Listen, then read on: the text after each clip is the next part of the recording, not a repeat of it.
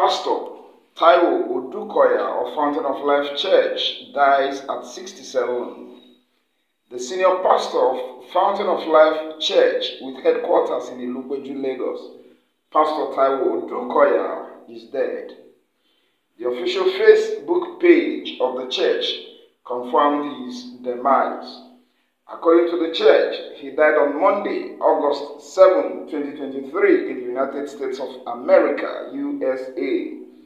This is how the church announced his death.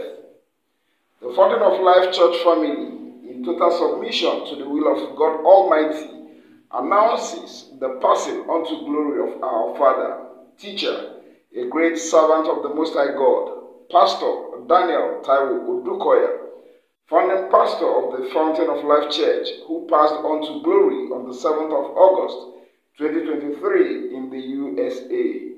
We are in total submission to you, Lord. We thank the Lord for the gift of a great leader. Odukoya lost his first wife, Bimbo, in 2005, and the second, Rosemary, in 2010.